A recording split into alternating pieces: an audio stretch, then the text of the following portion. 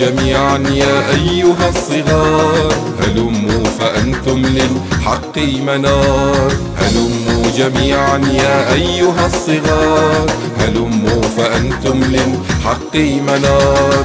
هلموا جميعا وشدوا السواعد وكونوا كعمر وسعد وخالد. هلموا جميعا وشدوا السواعد وكونوا كعمر وسعد وخالد. وأنتن صغيرات لكن التحية. أرى فيكن عائشة والحرة سمية والحرة سمية والحرة سمية هلموا جميعا يا أيها الصغار. هلموا فأنتم للحق منار. هلموا جميعا يا أيها الصغار. هلموا فأنتم للحق منار.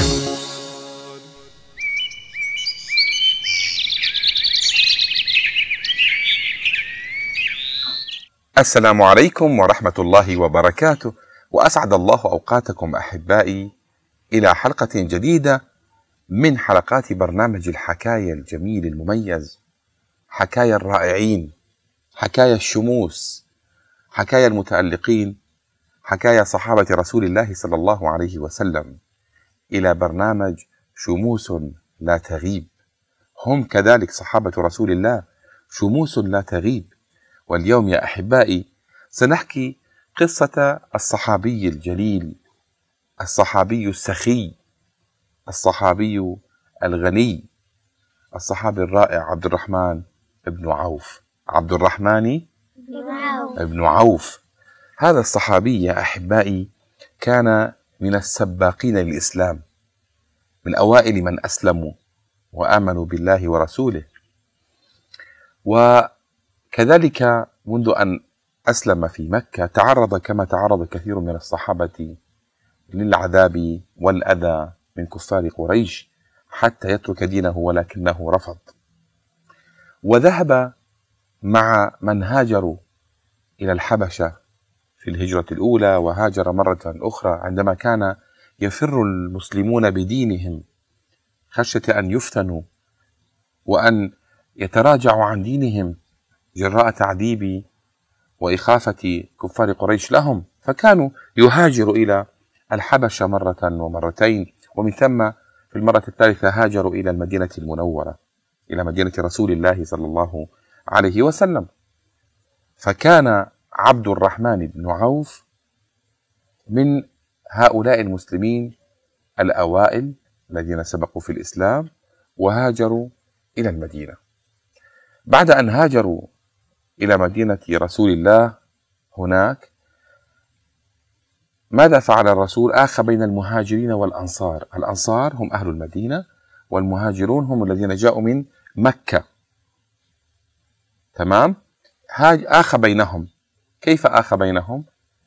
جعل كل واحد يقتسم ما عنده مع أخيه المه... الأنصار يعطي المهاجر نصف ما عنده من أشياء كثيرة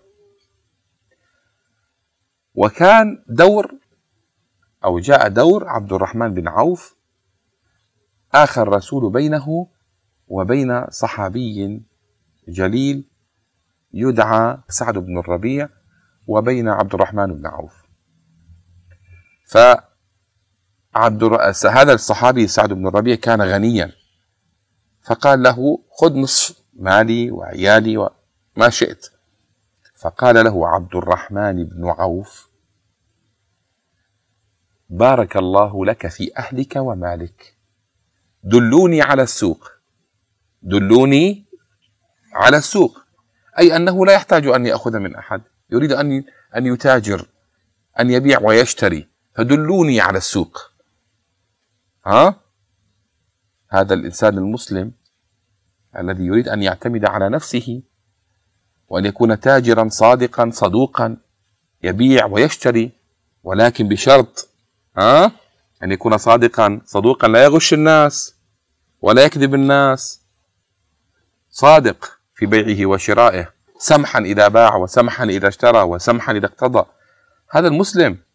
المهم دلوني على السوق فدلوه على السوق. يعني أين طريق السوق؟ قالوا له ذلك هو طريق السوق. فذهب فأصبح يشتري ويبيع ويبيع ويشتري فأصبح عنده مال كثير. كثير. أغناه الله عز وجل.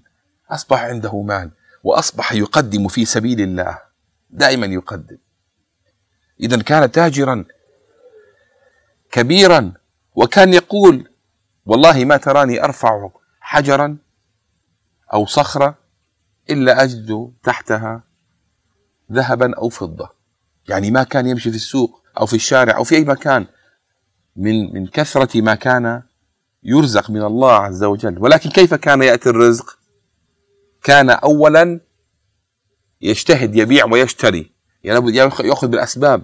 ليس أن يبقى نائما في بيته ويأتيه الرزق. لا يعمل ويعمل بالحلال وليس بالحرام. أن يتقي الله في البيع والشراء. وثانيا كيف يبارك الله بالمال ويزيد المال؟ بالصدقة والزكاة. نساعد الفقراء والمساكين والمحتاجين ونقدم في سبيل الله أموالنا. فالله يبارك الأموال. ها؟ الحسنة بعشر أمثالها. أحسنت يا هشام. والله يضاعف لمن يشاء. الحسنة بعشر أمثالها. فالله عز وجل من ذا الذي يقرض الله قرضا حسنا فيضاعفه؟ الله. يعني كلما تبرعت وتصدقت وساعدت الناس كلما زادك الله من ماله من رزقي نعم. نعم. أذكركم. إذا أصبح عندكم مال دائما تصدقوا وتبرعوا. وساعدوا الناس فالله عز وجل سيزيد هذا المال ويبارك فيه. هذا ما كان يفعله عبد الرحمن بن عوف. وكان عبد الرحمن ينفق على أهل المدينة النبوية وكان ينفق على الناس وعلى أهله وعشيرته إنفاقا كبيرا ويساعدهم حتى يقال أنه كان أهل المدينة كلهم شركاء لعبد الرحمن بن عوف. لا يقصد شركاء في المال. لا وإنما كان من كثرة ما يعطيهم. كانوا يقولوا فثلث ثلث أهل المدينة ثلث يقرضهم وثلث يسد عنهم الديون وثلث يعطيهم ويتصدق عليهم. هذا إلى هذا الحد نعم كان كريما وجوادا وسخيا يعطي في سبيل الله. المال ليس في قلبه وإنما في جيبه.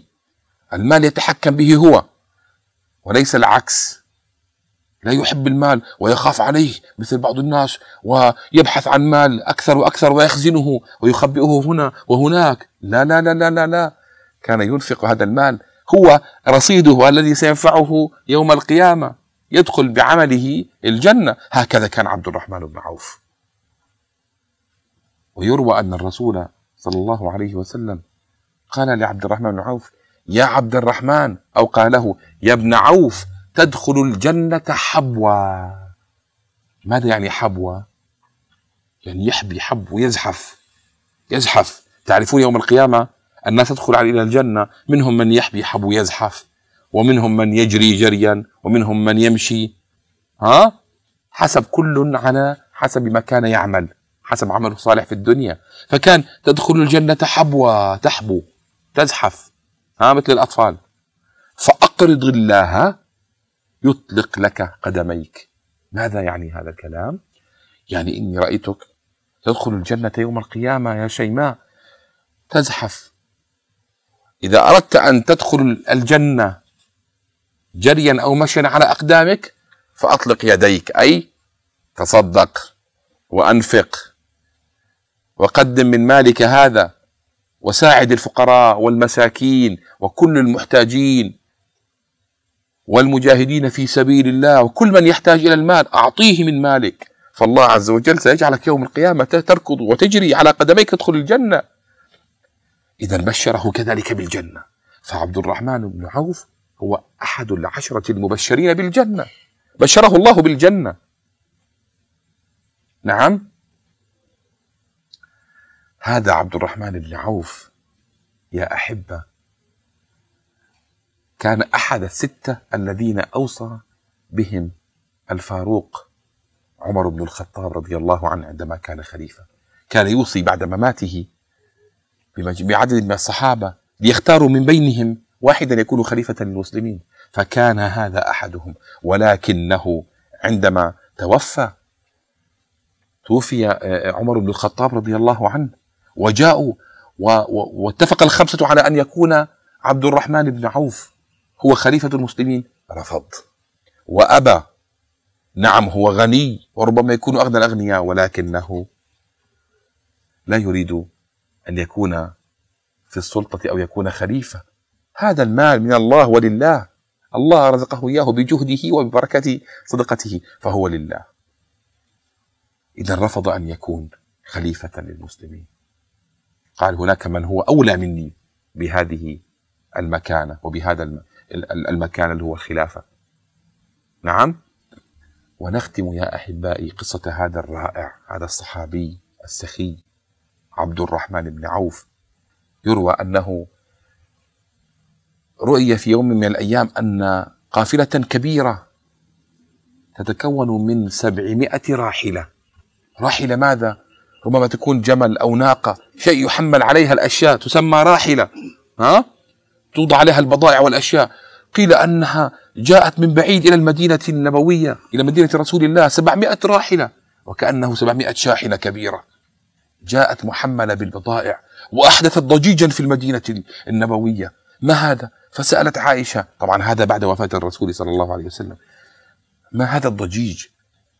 ما هذه الربكة؟ ما هذا الذي يحصل؟ فقيل لها هذه قافلة قافلة يعني واحدة. هذه تجارة لعبد الرحمن بن عوف. فرأت عبد الرحمن بن عوف وقالت له تذكرت هي ما قال الرسول صلى الله عليه وسلم. قالت له يا عبد الرحمن يا ابن عوف تذكرت أن رسول الله قال تدخل الجنة حبوا فذكرته حتى لا ينسى. ذكرته بهذا الحديث. فماذا قال لعائشة رضي الله عنها وأرضاها؟ قال هي في سبيل الله. في سبيل الله كلها. توزع هذه القوافل هذه الرواحل كلها في سبيل الله. الله أكبر. نعم يريد أن يدخل الجنة بهذا العمل. فقال هي في سبيل الله كلها. وزع هذه السبعمائة راحلة. وكان يوزع أكثر من ذلك ويبيع ويشتري ويعطي من فضل الله عز وجل. كلها في سبيل الله. نعم كلها في سبيل الله. هذا هو نموذج التاجر الصادق الصدوق الذي يغنيه الله بالمال فينفق هذا المال في سبيل الله. كلما أنفق الله يعطيه أكثر. كلما أنفق الله يعطي أكثر. الله الله. الله غني أغنى الأغنياء يعطي الجميع. هكذا يجب أن يكون الإنسان المسلم. هذا يجب أن هكذا يجب أن يكون التاجر المسلم. نعم يا أحبائي وأرادت عائشة وهذه نختم بها قصة هذا الصحابي الجليل.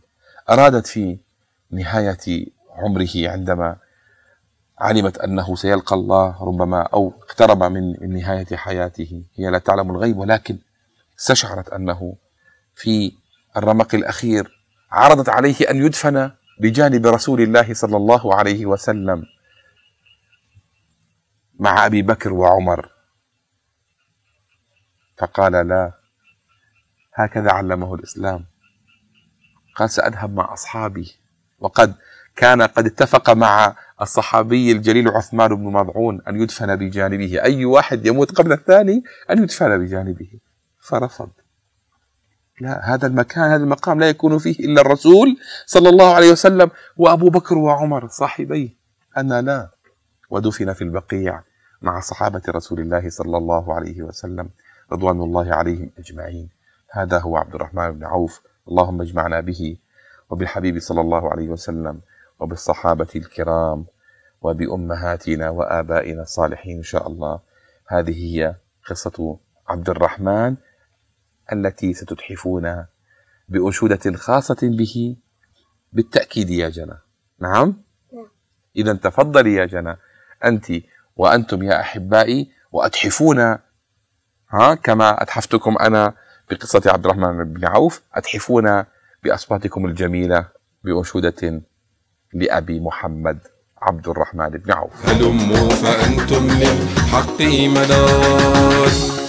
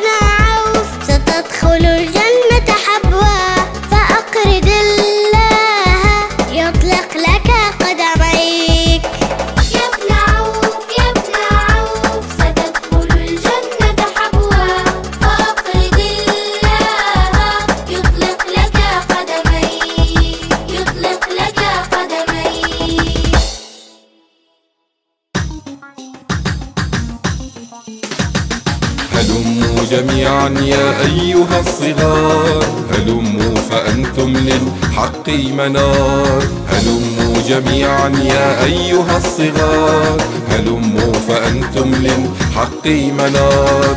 هلموا جميعا وشدوا السواعد وكونوا كعمر وسعد وخالد هلموا جميعا وشدوا السواعد وكونوا كعمر وسعد وخالد وأنتن صغيرات لكن التحية. أرى فيكن عائشة والحرة سمية والحرة سمية والحرة سمية. هلموا جميعا يا أيها الصغار هلموا فأنتم للحق منار. هلموا جميعا يا أيها الصغار. هلموا فأنتم للحق منار